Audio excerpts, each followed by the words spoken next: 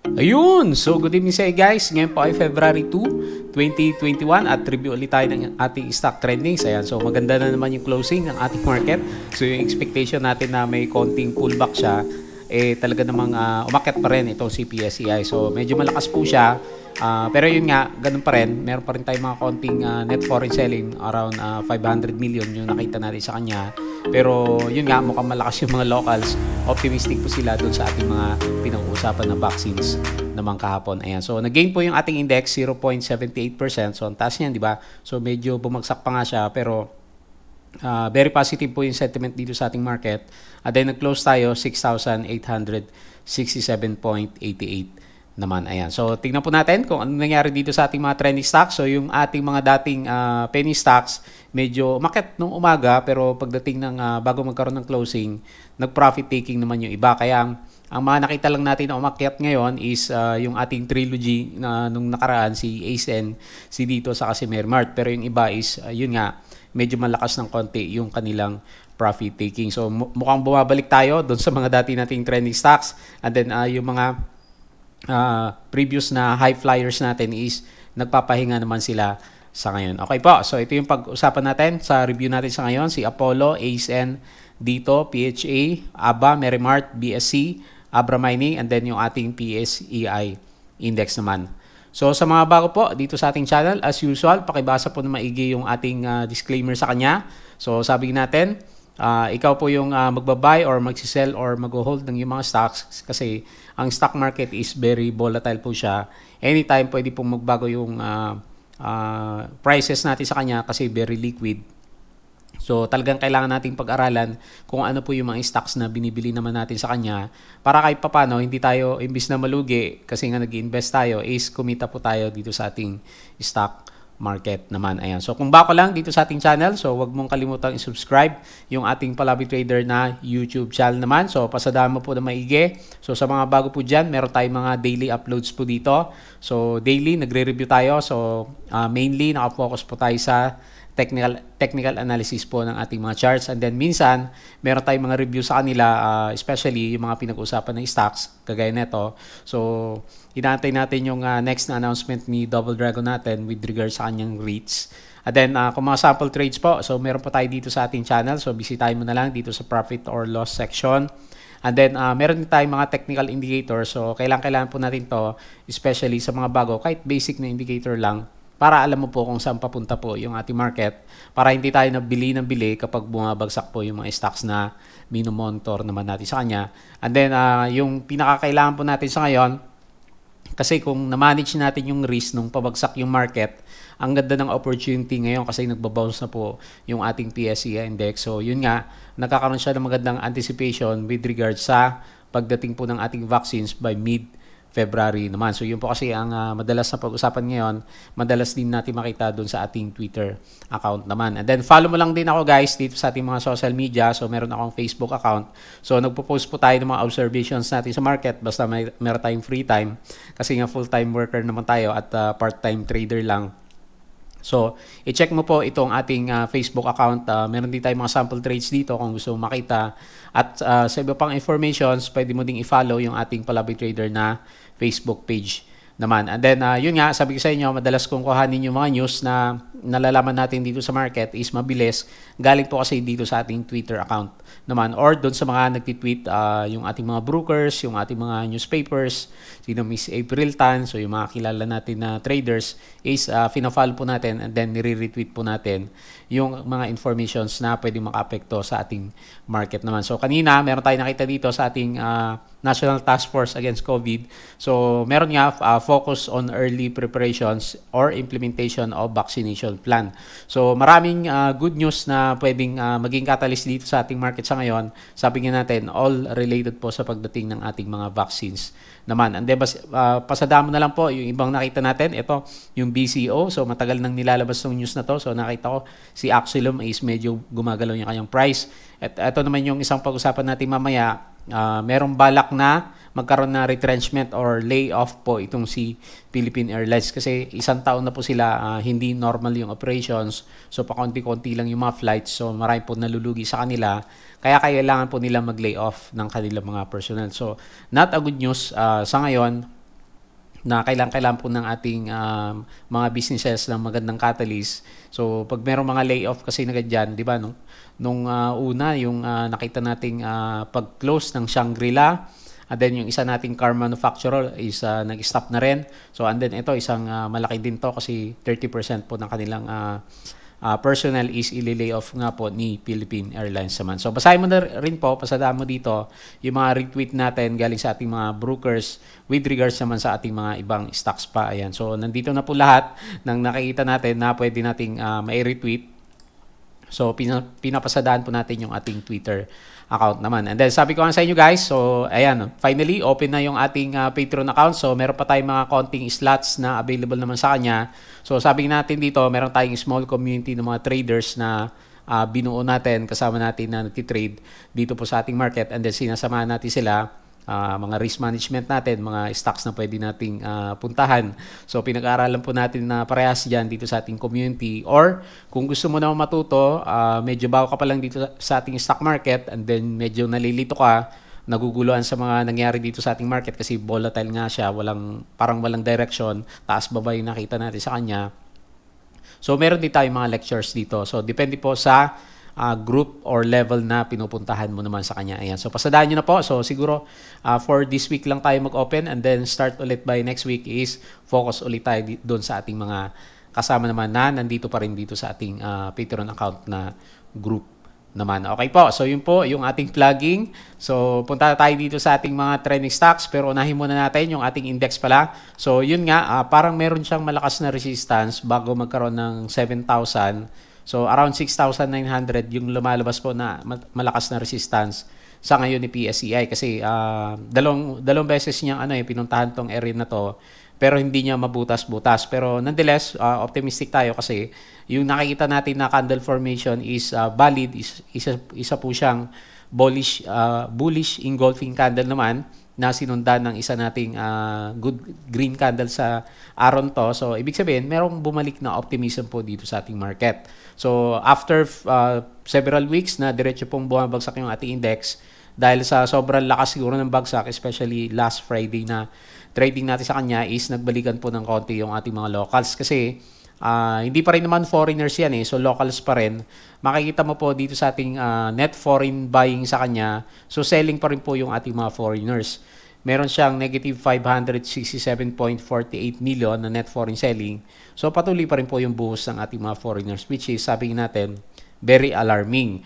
Pero sa ngayon nga uh, mukhang kaya ng ating mga uh, local so dumadami na yata ang traders dito sa Pilipinas kasi uh, kahit malakas po yung net foreign selling, nagi-green po yung ating market naman sa kanya. So, anyway, meron tayong mga nababasang news na gano'n na biglang dumami nga po yung ano, uh, mga traders saka investors dito sa ating uh, Philippine stock market after nga po na uh, maging matagal po yung ating lockdown naman sa kanya. So medyo marami din tayong uh, dumadami din yung viewers natin per day. So napapansin din natin. So kumbaga dati konti-konti lang yung nanonood sa atin. Ngayon, medyo madami-dami na rin siya. Ayan. So siguro nga medyo dumami na po ng uh, maganda or or madami talaga yung pumapasok po ng bago dito sa ating market. So hindi ko alam si COL Financial kung kasi nung huli ang balita ko sa kanya nag-stop muna siya ng ano pagkuha ng mga bagong accounts kasi nga naghahang po lagi yung kanyang network nung nakaraan naman sa kanya. And then siguro in-implement nila yung ano no, yung auto log off. So pag hindi mo binabrowse ng uh, madalas yung uh, net yung ano, yung call account mo,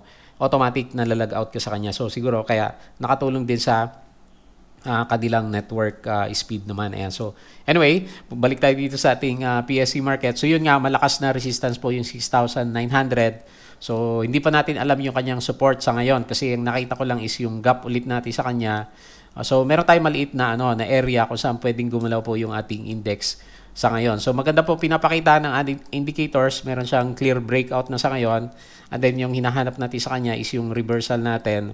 Yung medyo nagka-curve po ng paakyat yung ating MACD naman sa kanya. Kaya nga, ang dami po nating nakita ng mga stocks, uh, maliban doon sa ating mga penny stocks na high flyers nung nakaraan, sina ABA, APL, B, BSC. Uh, ah, marami, na pong, marami na pong ibang stocks na nagtaasan at nagbabalikan po yung kanilang mga prices, especially yung ating mga blue chips na sobrang-sobrang binagsak ng nakaraan, nagre-rebound na po ng pakonti-konti yung kanilang prices. Kaya nga medyo napapabalik din tayo ulit dito sa ating market after nating kuhanin yung uh, ilang percent ng ating capital kasi medyo delikado nga siya last time. Maganda po kasi yung mga nakita natin ngayon sa kanya. Ayan. So, hanap tayo ng news. So, meron tayong nabasa ng news kanina. So, ito nga, uh, galing kay si uh, Bloomberg. So, ang sabi niya, Philippines is negotiating for 178 million coronavirus vaccine doses naman. So ito na yung pinag-uusapan natin na darating by February. So pinag-uusapan na rin sa ibang bansa. Hopefully matuloy yan uh, by uh, middle po ng February. So ilang araw na lang yung antay natin sa kanya. So first week is uh, eto and then next week uh, by the end of next week siguro mag-start na pong makareceive yung ating uh, mga vaccines naman sa kanya which is very good. Kasi nga sabi ng ating uh, review sa kanya kahapon by March is uh, pwede silang pwedeng i-consider ng IATF na i-relax yung mga naka-quarantine na uh, lugar po natin kung successful yung results po ng ating vaccinations naman sa kanya. Ayan. So yun po yung antabayanan natin at uh, yun din ang alam natin na dahilan kaya patuloy po na gumaganda po yung galaw ng ating index in anticipation po sa pagdating ng ating mga vaccines sa sa kanya. Then yung on the other side, ito nga yung pinag uh, nasabi natin kanina doon sa ating Twitter account So si PAL is cutting workforce by 2,300 uh, employees as pandemic continues to weigh down flights naman. Ayan. So kailangan kasi niyang mag, magtanggal na uh, kasi isa sa mga fixed cost niya, di ba, yung ating mga laborers, uh, laborers sa kanya, eh, wala naman siya masyadong flight. So talagang uh, magkakaroon ng layoff itong si Philippine Airlines at uh, mahina nga po yung kanyang business naman. So hindi pa natin nakita kay uh, sa chart po ni Philippine Airlines kung anong pwede mangyari sa kanya. Actually green yung candle niya na napansin ko kanina. Pero downtrend din naman yung direction po ng kanyang stock sales. So basahin po natin to galing po kay ABS-CBN kung ano po yung mga details naman niya uh, with regards sa plan niya ng pagli-layoff po ng 2,300 employees naman sa kanya. So not a good news. Uh, sunod-sunod po yung layoff na, na, na natin dito po sa ating Philippine economy naman. Ayan. So tingin tayo dito sa ating COVID cases. So mapapansin mo, medyo bumagsak tayo February 1. Meron tayong 1,654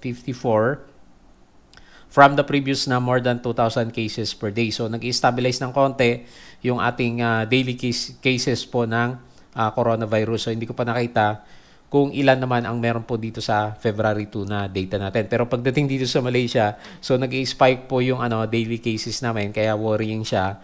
Umabot siya ng more than 5,000 cases per day naman. So medyo maliit yung population dito as compared sa Pilipinas. So one-third lang ng population ng Pilipinas. Pero yung daily cases po nila is marami talaga. So kaya uh, implemented din po yung lockdown dito. So walang bukas na restaurant. Puro take out lang siya And then yung mga barbero natin isarado ulit. So baka humaba ulit yung uh, buhok natin na uh, makita nyo during sa mga next na vlogs naman natin sa kanya. Okay? So tingin po tayo dito sa ating uh, global indices. So siguro nadala din tayo ng sentiment dito sa US market. So makita mo, medyo malakas po yung kanilang futures. Itong si Nasdaq, meron siyang uh, 0.93% na future na na or gain na possible sa pag-open po ng kanilang market. Si Dow Jones is nasa 0.84%. So makita mo kagabi, green din po itong ating US market. And makita mo ngayon, ang lakas po ng ating European market. So ito yung sinasabi natin, no? So minsan nagde-drop sila ng negative, more than negative 2% gawa nga ng bad news sa virus. Pero nagre-recover din naman siya after few days ng drop niya. So ngayon makita mo, uh, more than 1.5% po yung nakita natin na uh, gains po dito sa ating European uh, market naman sa kanya. Then makita mo dito sa bandang Asia, maganda pa rin siya. So, tingnan mo, bandang China is 2.07%. Dito sa Hong Kong is 1.23%, 0.97% sa bandang uh, Japan naman sa kanya. Sa India talagang malakas. So, di ba isang araw nakita natin more than 5%. Hindi ngayon, 2.46% na naman siya. So, nadala din tayo siguro overall kasi maganda po yung sentiment ng global indices naman natin sa kanya. Okay po, so yun yung ating mga uh, news dito sa ating market. So, hindi pa tayo masyadong optimistic na bumalik siya above 7,000 level kasi meron pa, pa rin tayong mga COVID uh, uh, cases uh, na medyo mataas and then yung ating net foreign buying is nandun pa rin. So, tingnan po natin. Pero, in-expect na natin pagdating naman ng bago yung mid ng February siguro kung mabalita na na nandyan na, paparating na po yung mga bakuna So tingin natin, kayang-kaya nang i-break out po ni PSCI yung 7,000 level naman natin. Pero sa ngayon pa lang, makita mo, medyo malakas siya ng konti kasi uh, bumabalik po yung ating RSI. Ganon din po yung ating MACD formation naman sa kanya. Okay? So pag-usapan na natin yung ating mga trending stocks. So ito, medyo bumagsak si Apollo natin. So nag-loss po siya ng negative 7.83% naman. So hindi niya kayang lampasan yung ating gap area. So malakas na resistance. So bumabalik sa downtrend na direction po itong si Apollo naman natin. So oh, medyo okay na tayo sa kanya nakaraan eh kasi meron siyang ascending uh, base formation dito. Pero yun nga nag-revert siya and then uh, nagti-threat na mag-test ulit dito sa bandang baba, uh, dito sa may pinaka-support level natin sa kanya is dito sa malaking candle naman natin. So ito kasi yung pinaka uh, bottom niya nung nakaraan na sumadsad po yung kanyang price. So, mukhang hindi effective yung news daw sa kanya with regards po sa pagpunta ng barko niya kasi makita mo parang uh, gusto talagang bumagsak po ng ating uh, ah, RSI and then yung MACD medyo malakas pa rin po yung pagdaos-dos po ng kanyang uh, blue line. So, and then makita mo, ito kasi bearish talaga kasi yung blue is malayong malayo po dito sa ating red line naman. So, ibig sabihin, bumagsak na malakas yung price and then wala siyang masyadong notable na rebound naman ng kanyang prices. Ayan. So maghanap ulit ng support si Apollo. So yung news natin sa kanya kahapon, meron meron naman siya eh. So mer- nandito siya, 'di ba? So ang sabi niya, uh, meron siyang disclosure bago lang 'to, February 2 yung nakita natin sa kanya. MB Siphon 1, a brand new deep sea mining vessel is now deployed in the seawater of Cagayan. So hindi ko napansin yung oras kung ano oras uh, nilabas to pero kung uh, during trading at hindi pa rin nagkaroon ng reaction yung kanyang ano, yung kanyang price action, medyo mahina nga po itong si Apollo naman natin kasi nandiyan na eh yung ating uh, isang uh, deep sea mining vessel sa kanya, 'di ba? Meron pa siyang inaantay na uh, mga dalawa malalaking vessels naman sa kanya para mag-umpisa po ng kanyang uh, mining, magnetite mining dun sa bandang uh, Cagayan naman pero mukhang ayaw ng ating mga traders sa kanya at yun nga nagpupuntahan sila sa ibang stocks sa ngayon naman. Ayan. So basahin niyo na lang po kung anong meron sa detalye nitong si Apollo. So i-post niyo lang uh, para mabasa niyo po yung mga nakalagay dito sa kanya pero parang walang masyadong epekto dito sa ating price action. So tingnan natin bukas kung magkaroon po ng effect yung nabasa natin na disclosure sa kanya. Kasi sa ngayon malakas na resistance yung uh, gap area natin at 0.2473. So nagtitreat siya na mag-test dito sa 0.1714 support level naman natin. So, hindi maganda kasi yung RSI is uh, below 50. So, sabi natin, uh, medyo depressed yung ating mga stocks pag below RSI 50 po. Plus, makita mo, malakas talaga kasi pabagsak po yung direction ng ating MACD naman sa kanya. Okay? So, next tayo, dun sa may good news na stocks. So, ang laki ng ginalaw nitong si ACN natin. So, nag-gain po siya 13.77% uh, pero mukhang napa-profit taking yung ating mga foreigners. Meron siyang uh, net foreign selling na negative 12.90 million naman. Pero ang ganda ng breakout niya. No? So, uh, lumampas siya sa 7 pesos. So, yun ang nakita ko ng psychological level sa kanya nung last time. Kasi kung magdodraw ka dito, uh, makita mo, uh, clear breakout po itong si ACN naman natin. So, nung, nung kahapon, uh, although pansin natin, malaki yung ating volume for the last two days. So, hindi natin in-expect na ganyang kalakas siya for the day naman. So, in-expect ko is around 7 lang yung uh, uh, pinakamataas siya ngayong araw na to. Pero nagtuloy-tuloy po yung pag-akyat ng prices ni ACN naman natin. So, ang ganda tuloy ng kanyang RSI, di ba? So, nagkaroon siya ng magandang breakout and then nag-stay sa above RSI 50. So, ang ganda po niyan. Ganda ng galaw ni ACN. And then, uh, yung madalas nating hanapin sa reversal ng isang stock is yung ating curving po ng ating MACD naman sa kanya. So, um, malakas kaya bukas ulit itong si ASN. So, ang laki kasi ng volume. So, uh, tinitingnan ko na siya, magko-close the gap siya dito sa around 8 pesos. So, kung malakas siya is uh, babasagin niya yung ating 8 pesos para sa kanya next resistance is around 9 pesos na. So, medyo, ano no, kung medyo na-hold natin na matagal pala itong si ASN, uh, yung mga medyo naipit nung kanyang SRO, and then nakakuha ng SRO is alalaki po ng gains nila sa ngayon kasi pa-recover na po yung price action nitong si ACN naman natin. So, i-clone natin to para makita natin yung galaw niya. Kasi meron siyang pattern dito last time, di ba? Ito yung sinusundan natin sa kanya. So, kung medyo malakas siya, meron kang expectation, expectation above 8 pesos naman dito kay ACN naman natin. So, meron siyang news uh, galing sa PSE Edge din natin. So meron siyang uh, nilabas na news kasi kay Philstar February 2. Ang sabi niya, Ayala Power Unit plans to raise 30 billion this year. So mukhang may gagawing follow-on offering. So may nababasa ako na FOO para makalikom siya ng about uh, 30 billion. Ito pong si ACN natin. Although sa unang tingin, uh, magdadagdag na naman siya eh, follow-on offering. So uh, mag, magbibigay ulit ng shares itong si AC, AC Energy natin para ka, makapag-raise po siya ng additional cash na naman. And then medyo malaki to kasi 30 billion po yung kukunin niya. So, di ba 30 billion yung mga normal na IPO natin doon sa mga malalaking uh, companies natin, di ba si meron tayong mga nakita dati sina Shell, sina eto si Converge yung recent natin is mataas yung uh, mga IPO ni na Uh, A-REITs, 30 billion. Uh, yung kay DDMP REITs is around 40 billion. So, ganun po yung, ano, yung significant na value na i-raise po nitong si AC Energy. So, sa unang tingin, sa unang tingin, uh, magdadagdag siya ng shares. So, magkakaroon na naman ng dilution sa kanya. Pero tingnan mo naman, yung price action sa kanya is iba yung gusto niyang sabihin. So, gusto niyang umakyat. So, siguro, kasi ang, ang main reason naman kaya magre-raise po ulit ng uh, new shares itong si AC Energy is i-reinvest niya po ito. So magkakaroon siya ng mga additional acquisitions. So kasi may plan siya na uh, meron siyang around may target na 5 gigawatts uh, renewable energy by 2025 naman. So kasi uh, yun po yung target niya is nakafocus sa mga renewable energies. And then uh, gusto nga pong uh, maging uh, isa sa mga nangunguna itong si ASN uh, pagdating sa renewable energies naman natin. So makita mo maganda kasi may volume. So tingin natin meron meron pa siyang galaw. 'Di ba? Kasi may accumulation po ng volume. Uh, and then meron na naman siyang follow-on offering na gagawin. So itong significant na app natin, uh, yung kanyang SRO, stock rights offering.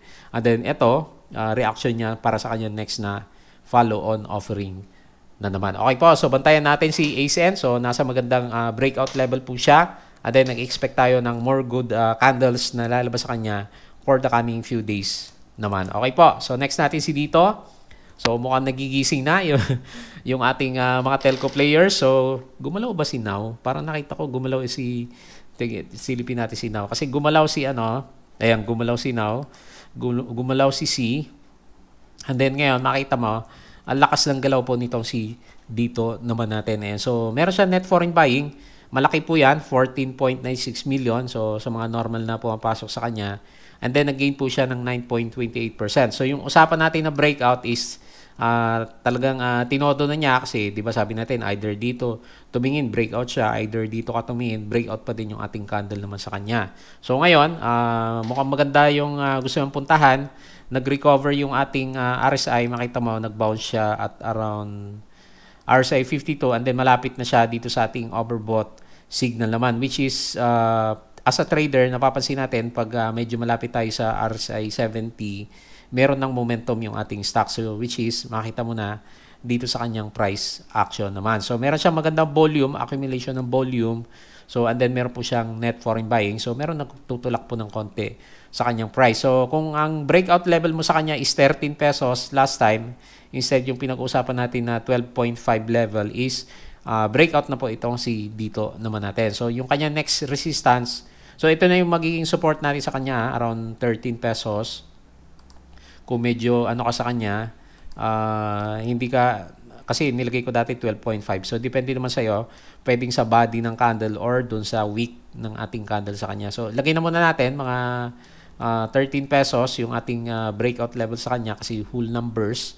And then, uh, next resistance is 14.67. And then, after nyan, after nyan, meron ba? Tingnan natin yung kanyang ano, previous uh, charts. Nakalimutan ko na yung charts ni ano, dito natin.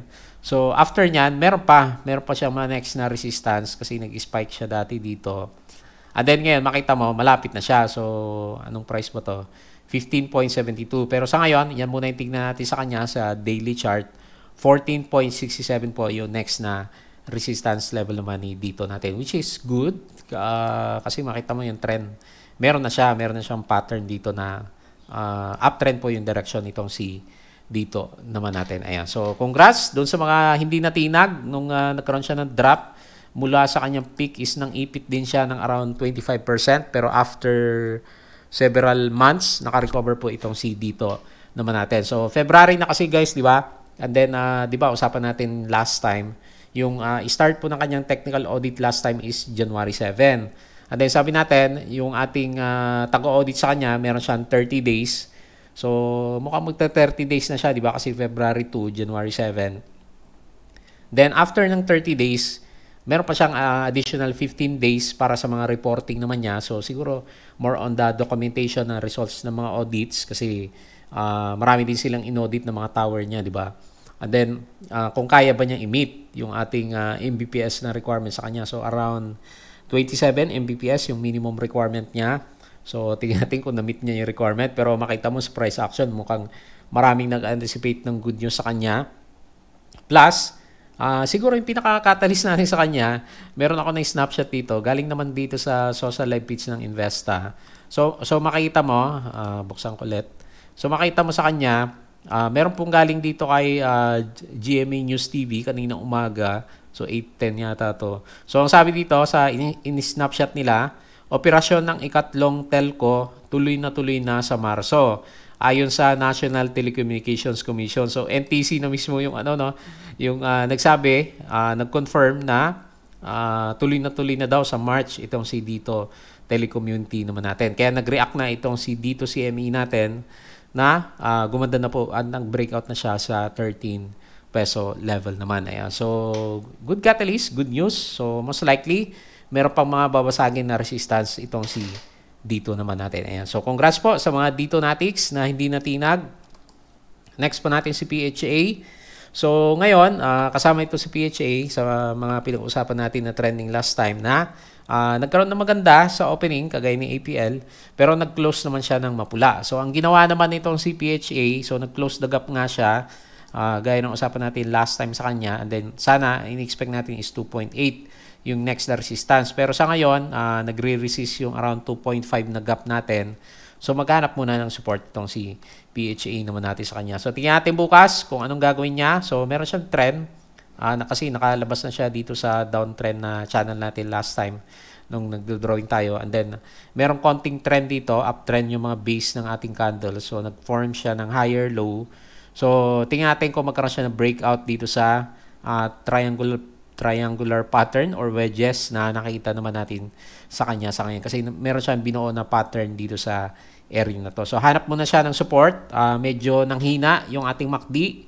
So magka-curve na sa, sana siya pero hindi naman natuloy. Uh, okay pa naman yung RSI, di ba? So after ng breakdown, nagkaroon siya ng uh, rebound ng konti. So medyo mahina yung rebound ng ating RSI. Pero yun nga, mataas pa rin naman siya. Nasa RSI 54 level naman. So marami pa rin ako nakitang news dito kay PHA natin. So mukhang balak daw gawing cashless yung ano Baguio City natin kasi pati yung Taho vendor is gumagamit na po ng Squid Pay natin. Ayan. So, pwede ka na yata mag-order uh, gamit po yung ating Squid Pay.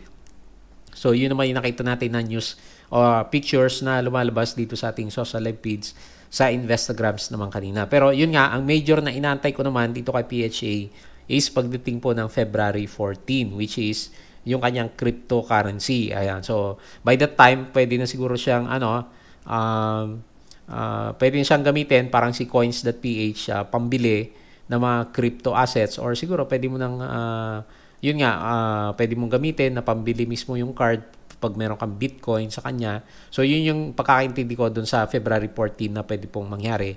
Plus, yung upgrading ng kanyang software uh, version naman. Siguro, to cater na rin po yung ating uh, cryptocurrency sa kanya. Ayan. So, pahinga muna itong si PHA natin. So, ganyan lang muna. So, meron tayong maliit na trading channel sa kanya. Tingnan po natin kung mag-support yung trend lines na naguguhit naman natin sa kanya sa ngayon. Okay po. So, meron siya net foreign selling, uh, negative 8.31 million. Uh, meron, meron naman pala siyang gain. Oh. So, kahit red yung candle, meron siyang gain na 0.86 naman. Okay? Next natin si ABA. So, mapapa-ABA ka naman. Kasi after ng ceiling niya, so yung expectation natin na malakas sa opening, talagang malakas siya. So yun nga lang, nagkaroon naman siya ng fake out. So 15% yung inakyat sa opening.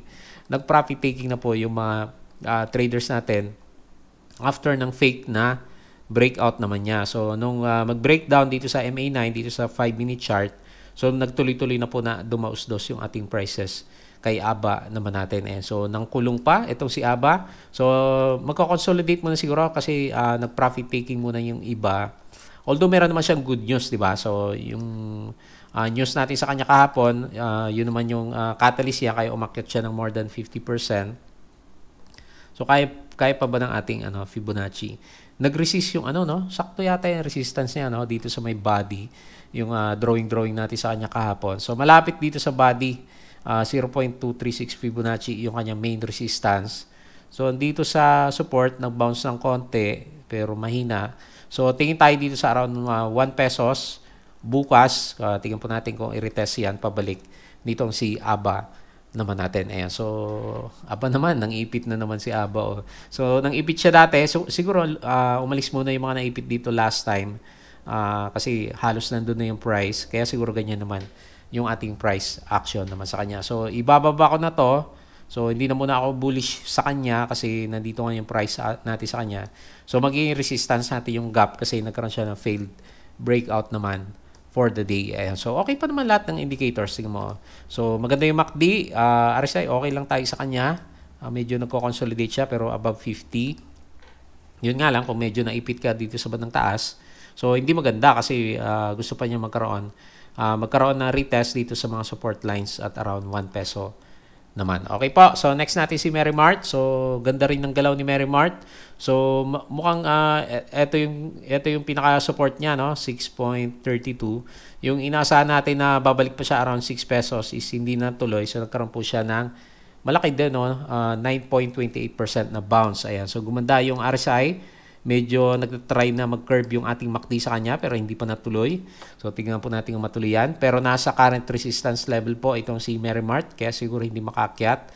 So yun, siyempre yung mga hindi nakalabas dito last time, lalabas sila ngayon kasi may opportunity na lumabas naman kay Merrimart. So meron siyang konting uh, disclosure.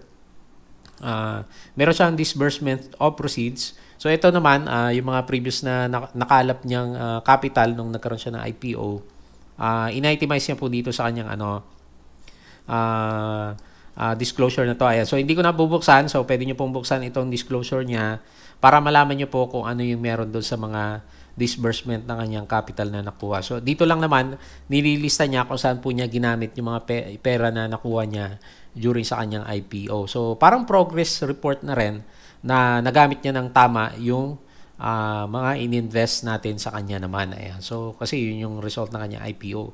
Which is uh, good yung uh, response ng ating market naman sa kanya. Ayan. So, sana magtuloy na makarecover po yung kanyang MACD. So, sa ngayon, nasa tight uh, sideways area itong si Mermart. Hopefully, maka-breakout uh, sa around 7 pesos na resistance and then balik siya dito sa 7 to 8 pesos na range naman natin. Okay? Next natin si BSC. So, wala ding catalyst si BSC kaya medyo hindi rin po siya umakyat. So wala siyang gain for the day, 0.00%. Uh, meron siyang foreign buying, medyo mahina, 749.27. So balik na lang ulit tayo sa ating uh, Fibonacci drawing. Hanapin natin yung support sa resistance. So mapapansin mo, nagkakaroon siya ng ano, no, tight consolidation dito sa uh, maliit na, na area ng ating uh, trading range, uh, Fibonacci 0.618 hanggang Fibonacci 0.5 level naman. So kung ayaw mo yan, uh, pwede rin naman yung pinakababa natin sa kanya pwede kang mag-drawing ng line kasi uh, meron naman siyang pattern talaga. So parang yung pattern ni ano, 'di ba? Ace N yung nakita natin sa kanya. Ayan. So ganyan na lang muna. So consolidation muna itong CBSC. So mahina pa rin yung ating MACD kasi makita mo medyo malayo yung blue.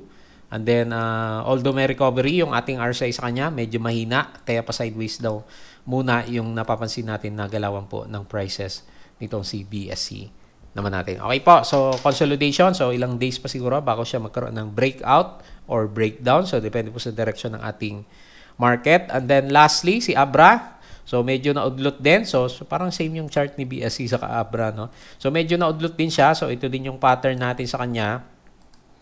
And then, uh, malakas talaga na resistance yung 0.0062. Yung usapan natin sa kanya kahapon, di ba? So, or 0.0063 level naman eh. So consolidation din muna itong si Abra Mining at uh, mahina din po yung kanyang MACD. So not a good sign. Yung ating RSI is uh, super sideways. So halos hindi gumagalaw yung uh, price action uh, yung uh, RSI level natin. Above RSI 50 pero mahina itong si Abra Mining naman. Okay po, so yun po yung ating mga reviews. So, anyway, maganda yung pinapakita. Uh, at least, meron tayong mga tradable na stocks sa ngayon kasi meron pa rin nag, uh, nag-move ng mga more than uh, 5% dyan. Si Merrimart, 9%. Si Dito, 9%. Ace N, 13%. So, may mga opportunities outside doon sa mga stocks na nagliparan last time. So, nagro-rotate na naman yung ating mga stocks sa ngayon. So hanggat green yung candle na nakikita natin sa kanya, kahit papano, uh, pampalubag-loob yan sa patuloy po na paglabas ng ating mga foreigners naman sa kanya. So siguro, siguro, either kung mag-sideways man siya dito, uh, malaki yung chance mag-breakout ulit tayo sa 7,000, especially sabi ko nga, nandiyan na po yung ating mga bakuna. So i-deliver na lang siya especially pag lumabas na yung news na ongoing na yung delivery, so in-expect natin may konting rebound na uh, medyo malakas siguro si PSEI. So good opportunity para sa pagbabalik uh, po ng ang direction ng ating mga stock. So marami na tayo nakita, kagaya ng uh, estado ng RSI sa MACD, may nagka-curve up na dyan, meron na pong mga breakout yung RSI level naman natin. Okay, so sana marami nag-gain ngayong araw to. So yun lang.